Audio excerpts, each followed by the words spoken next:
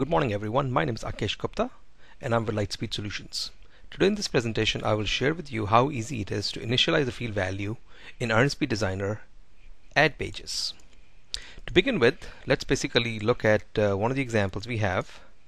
We basically have made a very simple uh, pages, a very simple project where we have an account and account type and uh, these are just some of the fields we are displaying and let's try to run this application.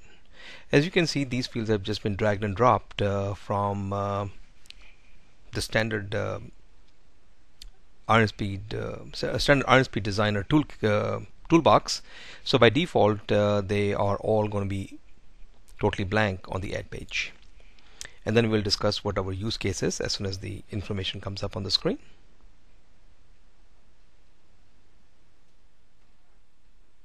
So the goal here is there are scenarios where you would like to put a default value into a field as soon as the add page has been shown to the user. So let's log in. This is the same application we have been using in all the other video presentations. So this way everyone is aware of what the application is all about. It is just maintaining different types of accounts. So on the add page for the account, we have basically what is the name of the account, what is the type of the account, and we have two fields in particular which we are going to talk about, created by and last contact date. What we would like to do here is we would like to automatically populate the created by to the name of the person who is logged in, as well as the last contact date to be today's date automatically.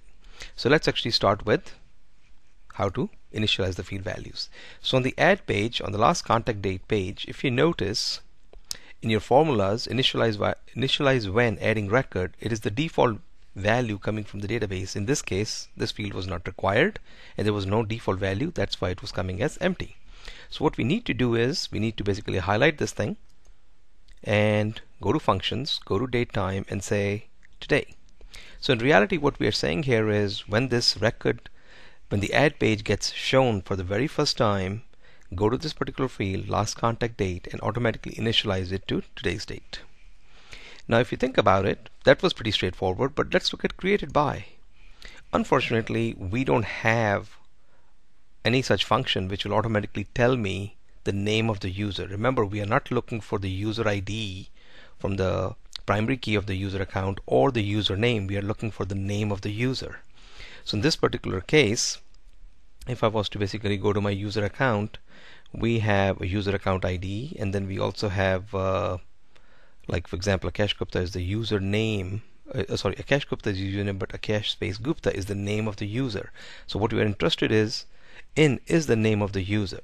So in order to get that type of uh, control Iron Speed has done a great job by giving us formulas. So if I click on right click and go to functions database get column value now get column value is a great great function. All it needs is three parameters. Where to look for which record to fetch and which field to fetch. So in this particular case where to look for our answer is going to be user account because that is the name of my table where the information is sitting. Now the primary key for me to go fetch my logged in user account is also another function under security user ID and all we can do is we can convert it to string so as you can see, sometimes you have to concatenate multiple functions to get the values out. And which field are we interested in? Is name. So name was the name of the field in our database. Let's just make sure. So in my user account table, user account ID was the primary key. Name was where basically we were saving the name of the user. Username and passwords are used for the uh, the username passwords are the credentials which the user will supply. We were interested in the field name. So as you can see the initializing value can also be coming from a formula which also has another formula in it. So as you uh, can see this can get pretty complex based on how you want to make it. So let's rebuild it and let's run the application to see if both of my initialization values worked There's a web application, so it has to just basically do a full compile as compared to a web project or a website.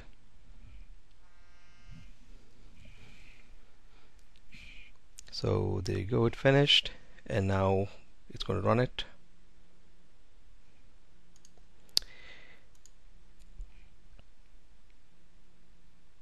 So what we're expecting here is that my created on automatically becomes Akesh Gupta and last contact date automatically defaults to today's date. Of course, we did not change the the fields, but we could have also turned the uh, the mm, the property of like enabled to be false. Then these will become totally uh, kind of uh, unmodifiable by the end user. So let's log in here.